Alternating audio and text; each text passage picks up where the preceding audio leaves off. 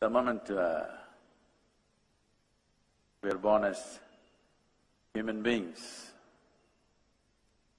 life has become very complicated. If, if you had come here like any other creature on this planet, stomach full, life settled. Once you come here as a human being, stomach empty, only one problem. Stomach full, one hundred problems. Because what you call as human is not going to be settled by fulfilling your survival needs. If you had come like any other creature, survival would fulfill your life. Eating, sleeping, reproducing, dying one day would be a complete process.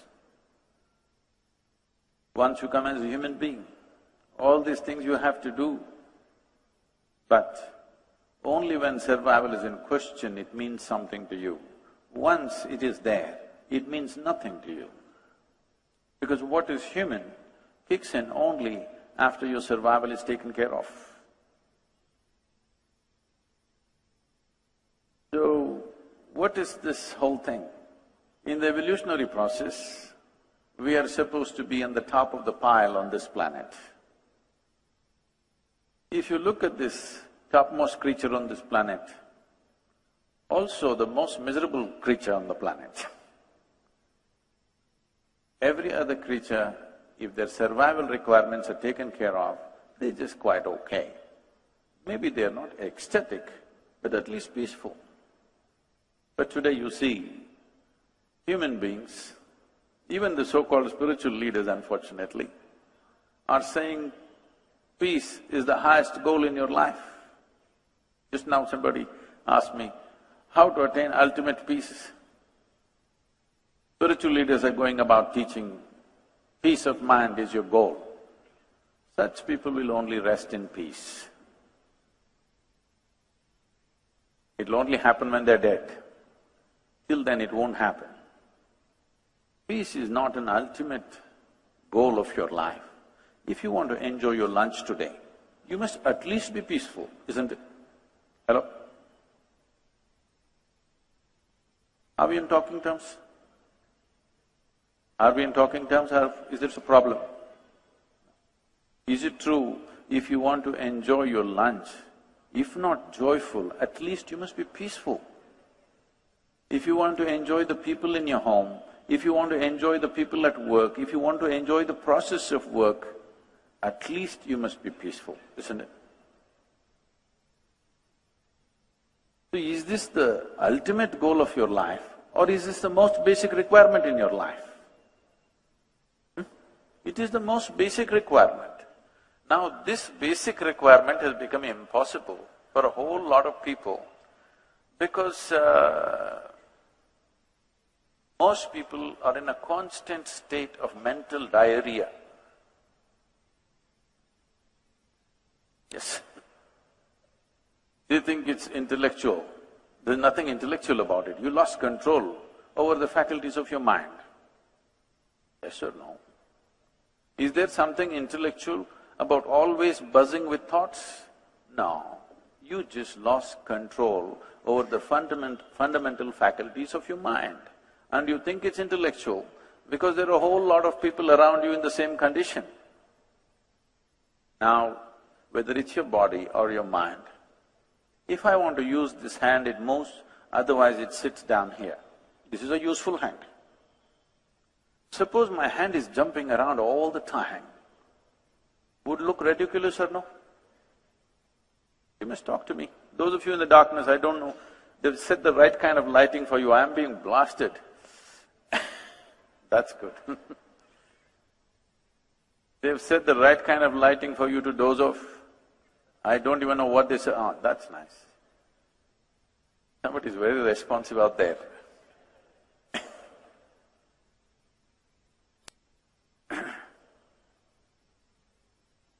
now,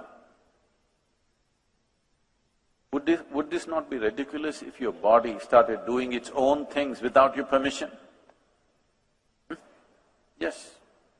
Is it not equally ridiculous that your mind is doing things without your permission? Your only comfort is others cannot see you, but now you're lit up.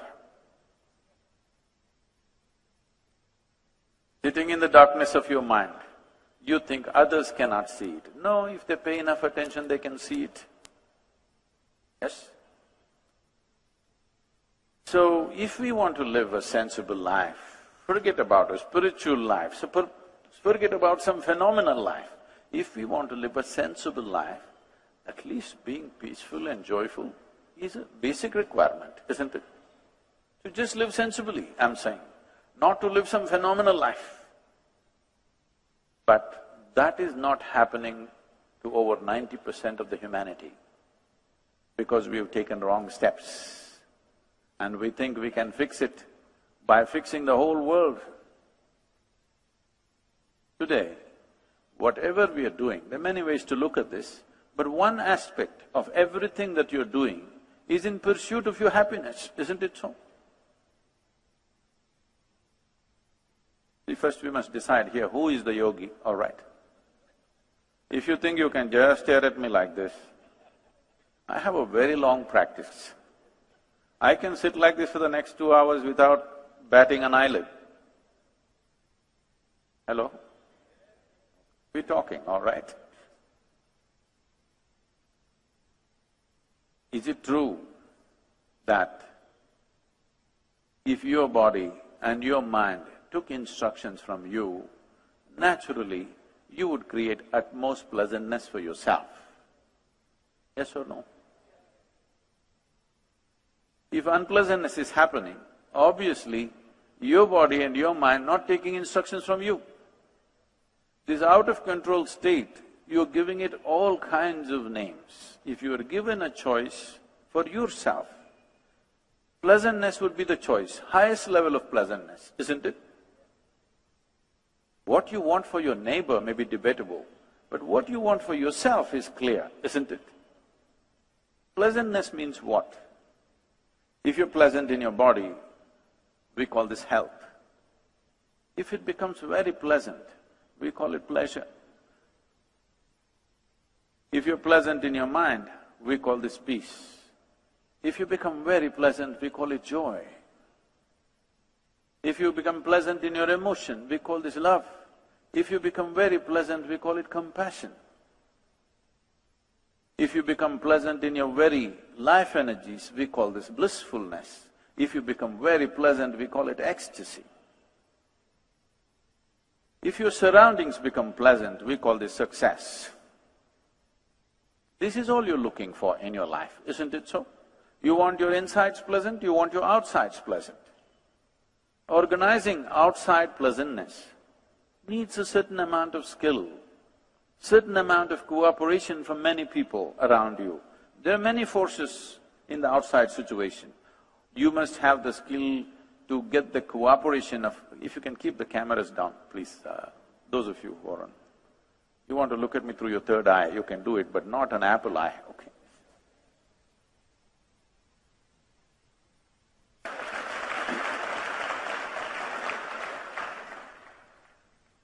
To create external pleasantness, it's a certain level of skill. People may not cooperate, situations may not cooperate, many forces in the nature may not cooperate sometimes. But to create inner pleasantness, there is only one ingredient, you. Only one inside of you? I'm asking you. Only one? Nobody else? No, because there's a whole lot of spiritual jargon happening, uh, my ahankara, my atma, my paramatma, everything inside. See, if there are more than one person inside this body of yours, either you're schizophrenic or you're possessed. You either need a psychiatrist or a exorcist. So I hope it's not the case. Just you, right? Just you means easy. If you are willing, nobody can mess with this. Yes or no? You want to create pleasantness in your home, your family must cooperate. They never cooperate hundred percent. Yes or no? They cooperate, but never hundred percent.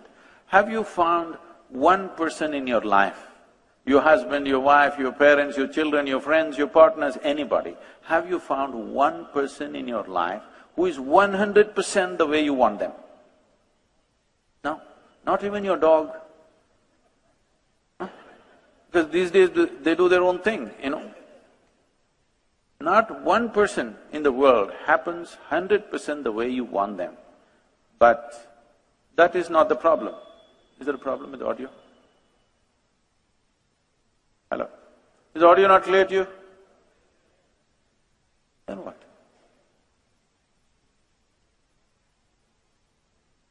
It's okay, son. So nobody has happened hundred percent the way you want them. It doesn't matter. Nobody ever happens hundred percent the way you want them. Even if there are just two people in the family, it never happens hundred percent your way. You should not expect that. If it's happening fifty-one percent your way, you have the controlling stake. Just shoot for fifty-one percent. If you shoot for hundred percent, nobody will live with you. Yes or no? If hundred percent your way, nobody is going to live with you. Fifty-one percent your way is a good ambition. If you achieve that, you're doing great. But within you, only one ingredient, just you. This person must happen your way, isn't it? Yes or no? This one person must happen your way. If this person does not happen your way, you're a lost case. Why is it this person is not happening your way? Willing. Is he willing, I'm asking? Willing? But not happening your way, why? One thing is, approach is fundamentally wrong. On a certain day, Shankaran Pillai was going home. Seven thirty in the evening. There are rules at home. You know, every home has some rules, otherwise they can't be a home. Some rules, right? May not be written down, but there are rules. In his home, the wife's rules are eight o'clock he must be home.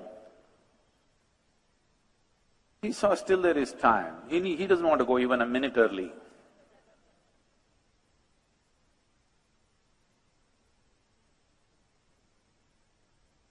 So he thought there is still time. So he walked into a local bar, thinking he'll just have a quick drink and then go home. Well, he had a quick drink and a quick drink and a quick drink and a quick drink and a quick drink. Then he looked at his watch. It says 2 a.m. You know, drinking people are like yogis, they're timeless.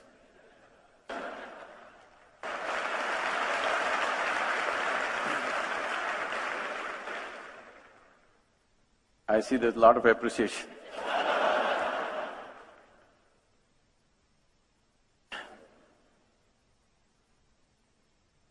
so, he got off his tall stool of the bar stool. It's an unfair world. It's a completely unfair world. You expect a man to walk on a round planet and the damn thing is spinning, you're supposed to walk on that.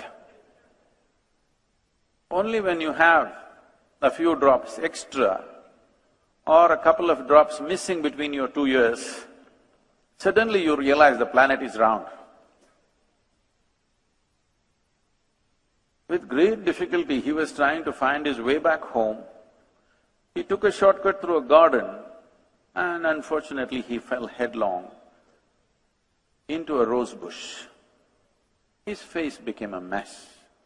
He gathered himself, somehow went home and those damn keyholes, they made so small, you know. It took another twenty minutes to find it. Somehow he went in, crawled up, went into the bathroom, looked at himself in the mirror, complete mess. So he opened the medicine cabinet, took out some medicine, plaster, band-aid, everything. He fixed himself, then slowly crawled into the bed. Fortunately, the wife is a big sleeper. So she crawled in and fell asleep. Morning eight o'clock, their wife took a bucket of cold water and threw it on his face. What about it? He woke up. Why, why? It's only Sunday. She said, You fool, again drinking? He said, Honey, six months ago I promised. Since then I have not touched a drop. These are domestic conversations, okay? I'm just exposing. I have not touched a drop. She grabbed him by the shirt and took him into the bathroom and showed him. All the plaster was on the mirror.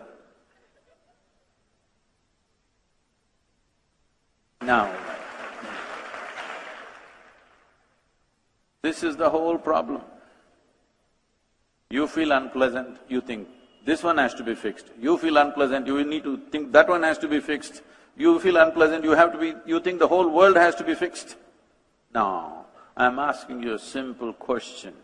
If you are feeling any level of unpleasantness, stress, anxiety, anger, fear, whatever nonsense, rubbish, whatever is happening within you, who should be fixed?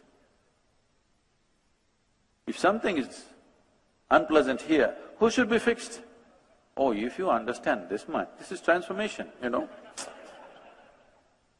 This is fantastic, in ten minutes, this is great transformation. If you if you understand this much, this needs to be fixed, not something else, the world will change. Right now, everything that we are doing on this planet is in pursuit of human well-being. In the last hundred, hundred fifty years, with the aid of modern science and technology, we have done too much external engineering, too much, which has rendered us into a certain level of comfort and convenience. We have comforts and convenience no other generation could even imagine, isn't it? Yes or no? The level of comfort and convenience in which you and me right now existing here, no other generation could ever even imagine. We are the most comfortable generation ever. Do you agree with me? Physically. But can we claim we are the most peaceful generation or joyful generation or loving generation or ecstatic generation? In many ways, we are becoming the most neurotic generation. We are complaining about any… everything and anything like never before. Yes? We are complaining about everything like never before in the world, though we are the most comfortable. Definitely, materially you're living better than your father and your grandfather, aren't you? Yes or no? Unless your grandfather happened to be the Maharaja, unless that, otherwise all of you are. In fact, what royalty could not afford a hundred years ago, today an average citizen has, isn't it so? All of you driving chariots with hundred, two hundred horses.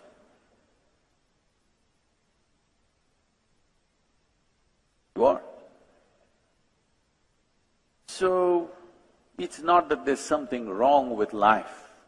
It is just that fundamental faculties of life are not taken charge of.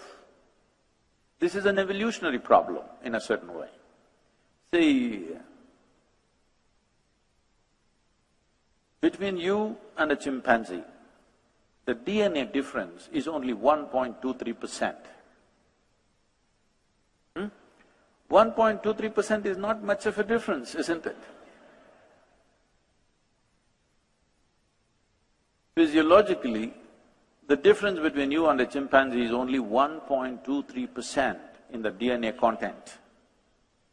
But in terms of intelligence and awareness, we are phenomenally different from a chimpanzee.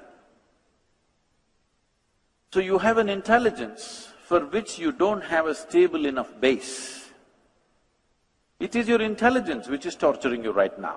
If we take off a part of your brain, I think most of you will be quite peaceful. Really.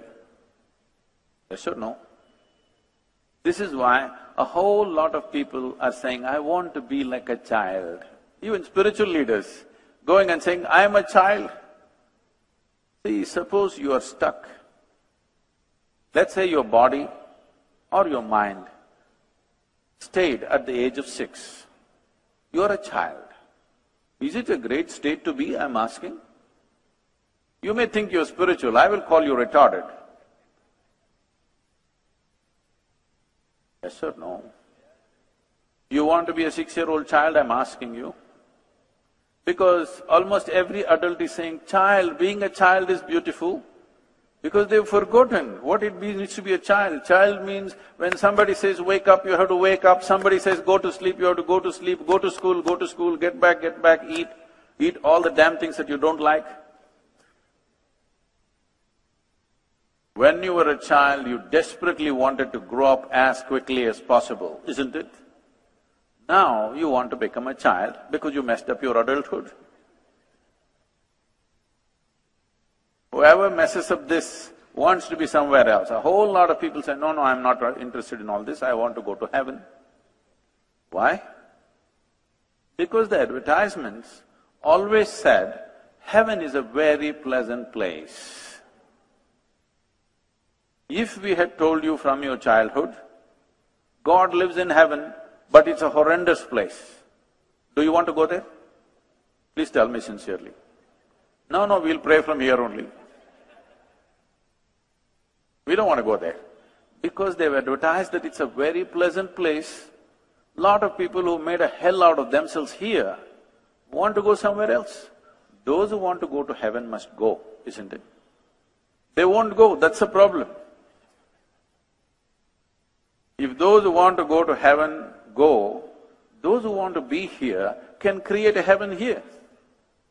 Now, those who have made a hell out of themselves, they don't go. They keep on talking about going, but they don't go.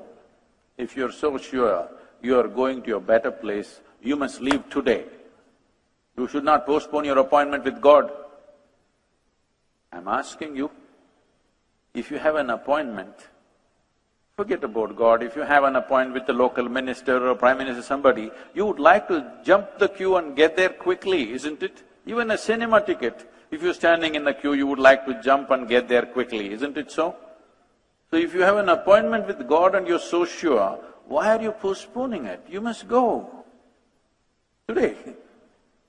Okay, I'm saying your mind is full of all kinds of rubbish picked up from here and there. Just now we were talking just outside, but somebody said something five thousand years ago, somebody said something three thousand years ago. With all due, with greatest respect to all of them, do you believe that Thousand years ago, people were way smarter than what you and me are today. Do you believe so? Huh? I'm asking you. If you believe so, it's unfortunate because life seems to be evolving. But some people are not. Some people seem to be, those who want to be child, children now, after they've grown up, they're retarding consciously. They're trying to somehow wrap themselves in a situation where they will not grow. So essentially, it's your own intelligence turning against you. If you had come like an earthworm or a grasshopper or a bird or a tree, you would be quite fine. Because you have entrusted with such a huge intelligence, this has become your problem, isn't it? You know, last year, in the month of August, we were trekking in Tibet. I'm in a tent. So another person is cutting an apple and there's one more person. You know one of those uh, new porcelain knives which are supposed to be very sharp. So this person is cutting an apple and the other person says, it's a very sharp knife, be careful. It irritates me. A knife is supposed to be sharp, otherwise why will I call it a knife? Something is blunt, I don't call it a knife. It's supposed to be sharp. And this is… if it's a child, yes, I would also say, or I would go and take away the knife, that's different. This is a full-grown man. I looked at it, this is… he's not handling a satellite or a earth mover or something. It's just a knife. Well, I continued with my work. Another two minutes later, she says again, it's a very sharp knife, be careful. I said, come on, he's a full-grown man, leave him alone. He, he should know how to handle a knife by now. No, Sadhguru, it's a very sharp knife.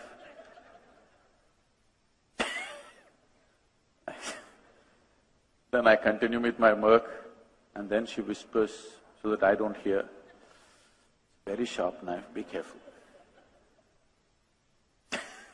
In two minutes, he cuts his hand. And I say, okay. Maybe he needed so much instruction about this. This is all your problem is. You have a sharp intellect, but not a steady enough hand. Now you're cutting yourself all the time. People come to me and say, Sadhguru, I can't bear with my boss, my mother-in-law, she's torturing me, my husband is impossible, my wife, oh. So I tell them, don't worry, you come here. Your boss, your mother-in-law, your husband, your wife, nobody will enter this ashram. Don't worry. I will give you a nice place to stay, good food to eat. Don't have to do anything, no work, nothing, just stay in your room. Whenever I come and check, you must be joyful. That's the only condition. If you're miserable, I don't believe in feeding misery. You're joyful, for the rest of your life, we'll bow down and take care of you. Oh, you leave them for twenty-four hours in one place you must see the circus, okay? When you're alone, when you're alone, if you're miserable, obviously you're in bad company, isn't it? Isn't it? Somebody is with you and you're miserable, you can always say it's because of this person. You're alone and you're miserable means you're in bad company, you need to fix it. You must understand this much. If you understand this much, then it's very simple. You would look inward. Looking inward is not contemplation. Looking inward is not dissection, because what you call as my body and what you call as my mind are accumulations that you picked up from outside. Your body is just the food that you've eaten, isn't it so? Hello? Your body is just a heap of food, isn't it? Not a pleasant way to describe you, but it's a heap of food or it's a piece of this planet. Yes or no? Just a small piece of this planet that you picked up and walking around. If you don't understand this now, countless number of people who walked upon this planet before you and me, they were also smart people. Where are they? All topsoil, isn't it? This will also become topsoil unless your friends choose to bury you real deep, fearing that you may raise from the dead. That's why in India, we burn them and put their ashes in the ocean, in three different rivers, all over the land, so that just in case if they try to come back, it never happened. They're making sure. This country is very wise in that way. now, this is just a piece of planet that you picked up, isn't it so? You accumulated this. What you accumulate can be yours, can never be you, isn't it so? Similarly, what you call as my mind, the whole content of your mind also is an accumulation of impressions. This is accumulation of food, this is accumulation of impressions. What you accumulate, you can claim that it is mine, but it can never ever be you. Do you understand this? Right now as I'm speaking, I will pick up this vessel and say, this is my vessel. You will think, oh, Sadhguru's got some problem. But let's listen, because everybody says he's wise, let's listen some more. After some time I said, this is me. Then you'll say, let's go. It's getting dangerous.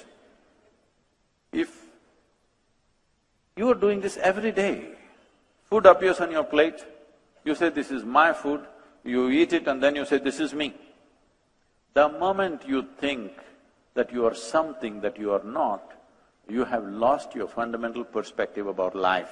After that, everything that you do is more and more insanity. If… if you believe that you are something that you are not, does it amount to insanity, I'm asking you? Even medically you qualify or no?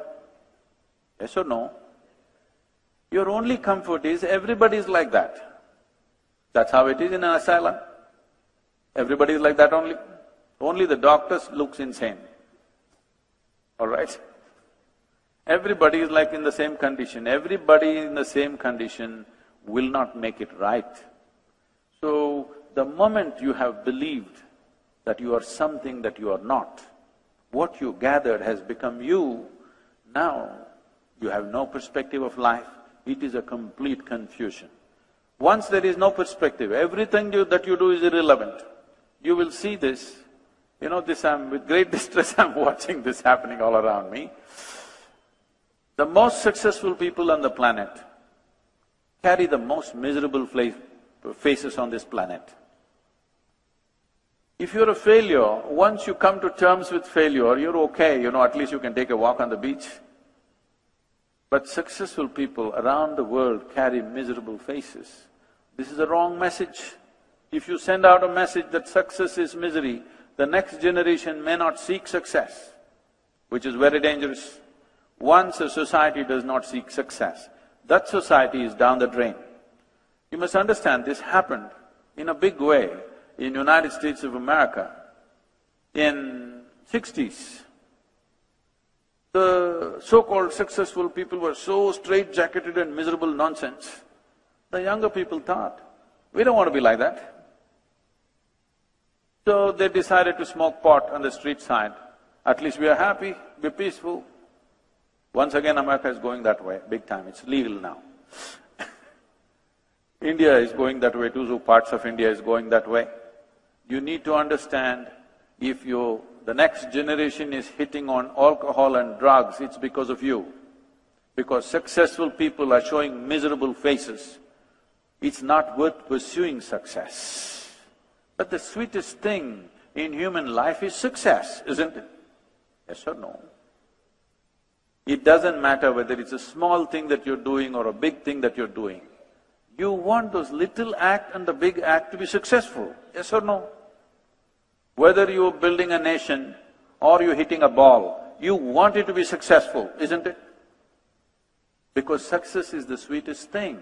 But now, if you send this, as a generation, if you send this message, success is misery, which is what is happening right now.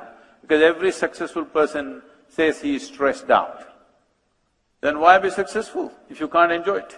Your only joy is you're better than somebody else, that's sickness. That is not…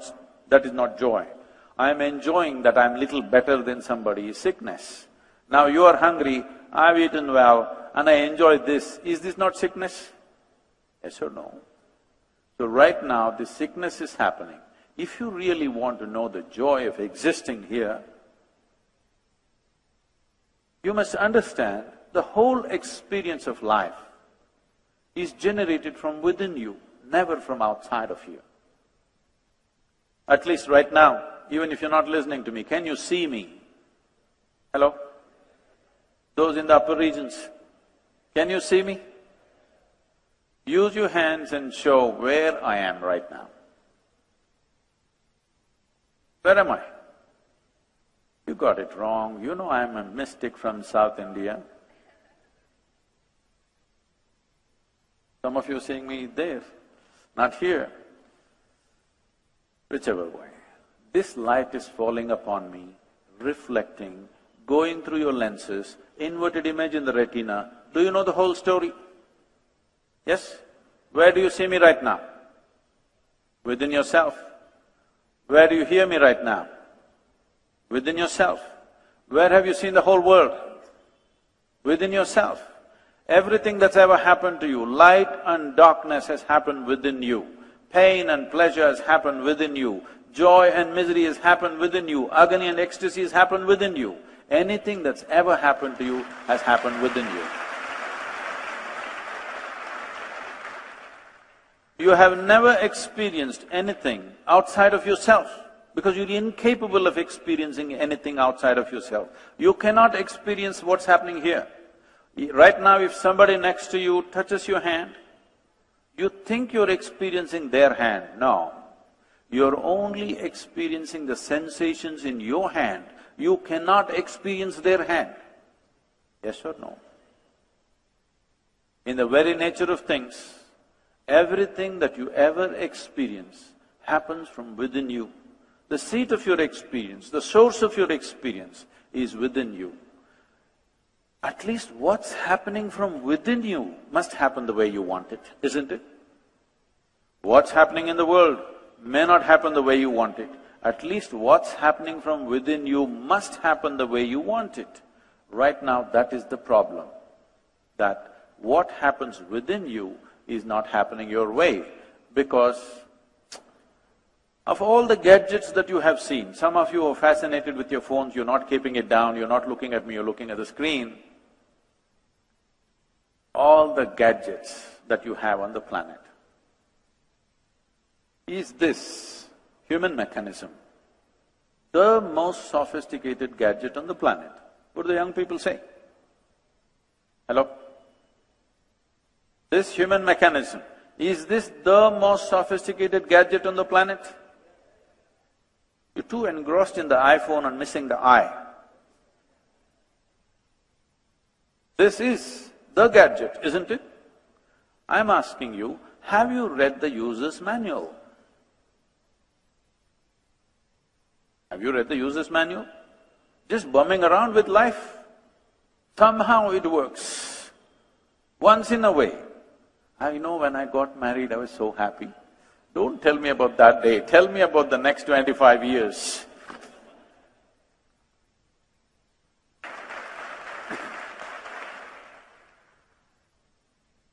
See, somehow anything can happen. By chance, by sheer chance, anything can happen. On a certain day, a bull and a pheasant were upon a field.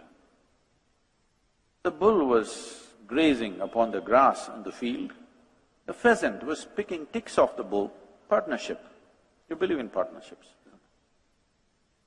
There was a huge tree at the edge of the field.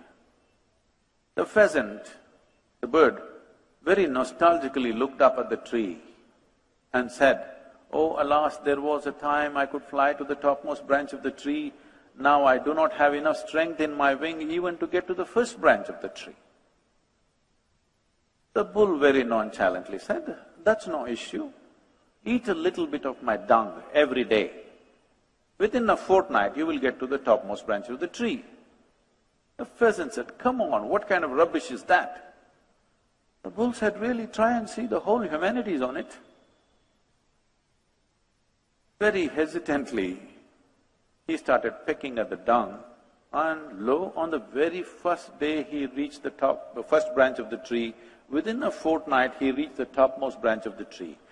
Just sitting on the topmost branch of the tree, beginning to enjoy the scenery. The old farmer who was rocking on his rocking chair saw a fat old pheasant on top of a tree, pulled out his shotgun and shot the bird off the tree. The moral of the story is, Many times even bullshit can get you to the top, but it never lets you stay there.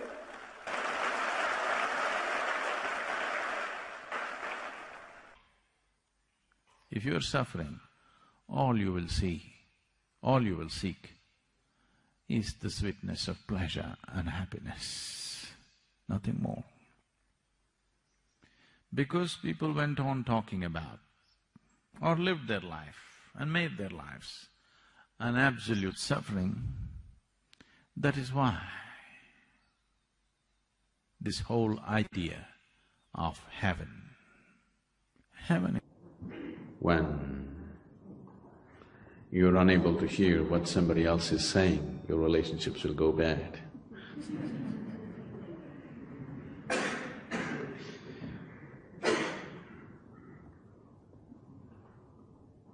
In many ways, uh,